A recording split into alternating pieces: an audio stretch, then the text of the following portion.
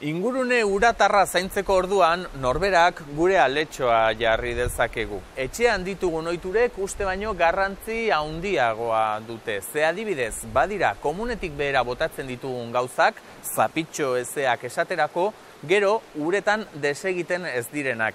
Saneamendu hodiak buxatu egiten dituzte eta ibaietara kontrolik gabeko isuriak eragin.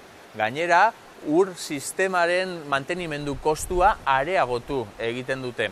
Horren bestez, zapitxo ez horiek komunetik bera ez botatzea, hori izan daiteke gure aletxoa.